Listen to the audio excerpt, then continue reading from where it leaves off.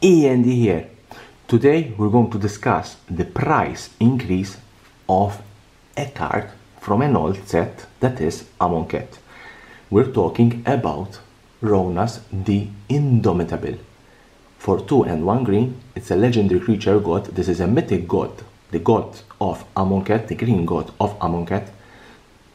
It has quite interesting abilities. It's a 5-5 that touch indestructible. Can't attack or block unless you control a creature with power 4 or greater.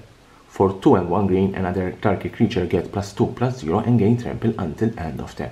This card, this card was already strong when Amonkhet was released and we're talking 2017, two years ago.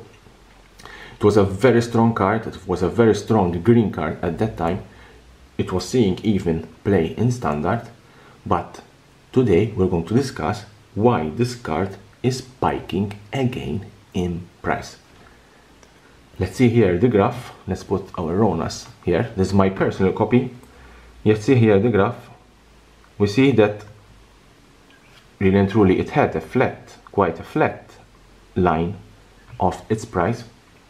Then, as soon as Throne of Eldraine was released, and, and, and here it is the spike, and as soon as Pioneer was announced, and more importantly, as soon as certain cards, like Once Upon a Time, like Veil of Summer, Decopter, once these cards, Field of the Dead, once the cards were banned from Pioneer, we're seeing that this card is gaining price and that means that this card is being highly demanded because of the Pioneer format.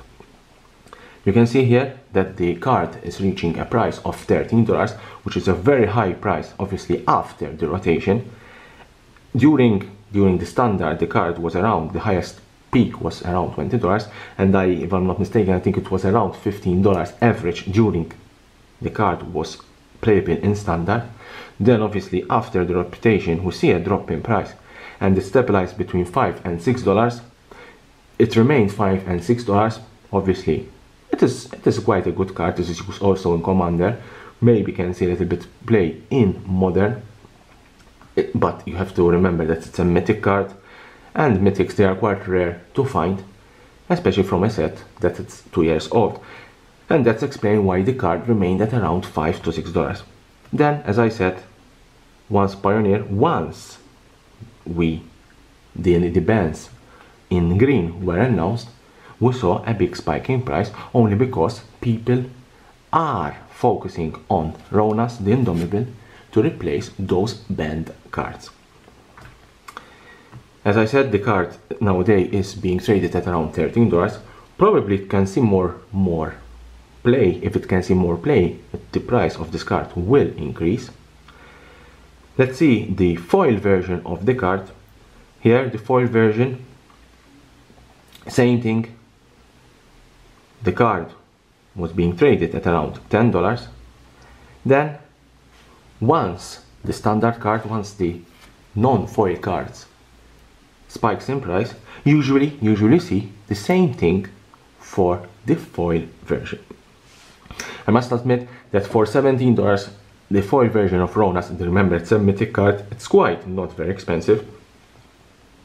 The highest price reached by this card was $27 obviously we're talking during the card was in standard.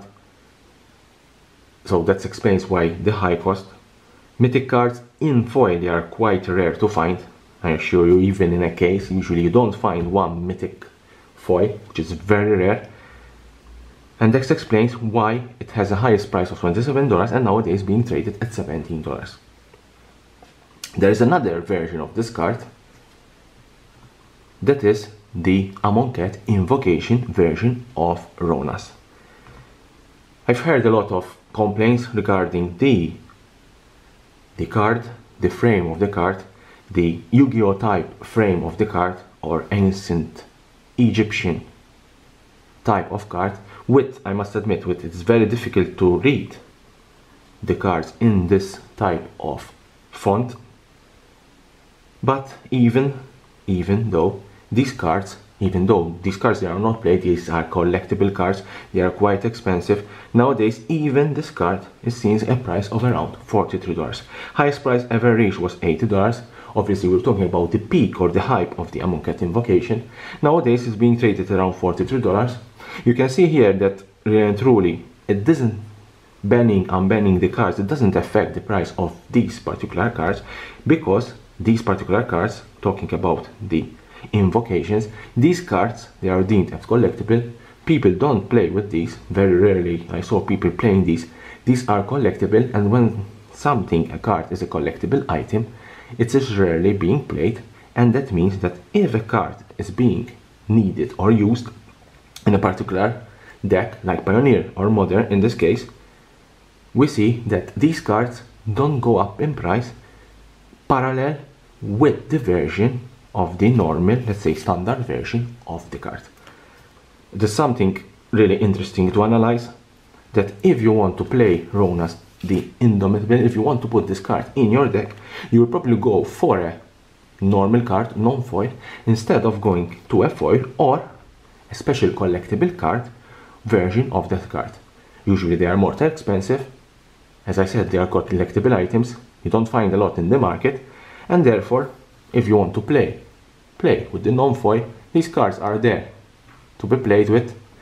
In the sense of the invocations and foil, I must admit that these cards are more targeting collectors than players. Can leave me a comment below what you think about Rhonas Din Indomitable. If you think this card is quite good in Pioneer or Modern, and here the subscription button, subscribe for my channel for more interesting videos like this one about Magic the Gathering and the collectible world.